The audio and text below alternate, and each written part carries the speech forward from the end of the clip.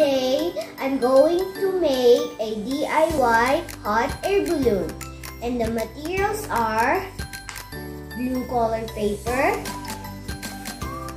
three colored paper cut out balloon pattern, clouds cut out pattern, basket cut out pattern, scissors, yarn, and glue. Okay guys, let's get started.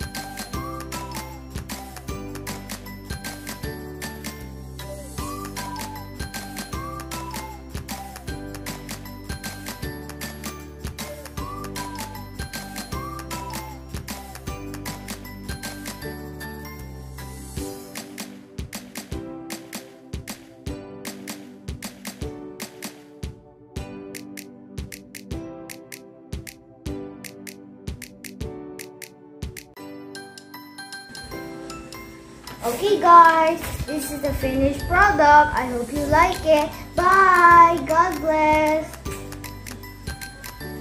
Thanks for watching.